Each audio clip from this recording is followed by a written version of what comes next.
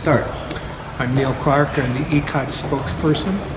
Today, we are finally at the preliminary injunction requesting that the state of Ohio would honor our contract, which specifically states how we are to be audited by the state of Department of Education for the purposes of deper- determining our funding.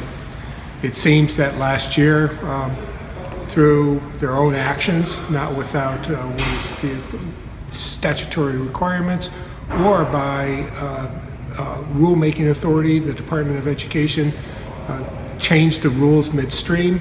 So we have come to the court saying that we have a contract, we want that contract honored, and that we do not want the Department of Education until they receive statutory authority or uh, authority under what's called JLUC to proceed ahead with any audit or audit findings.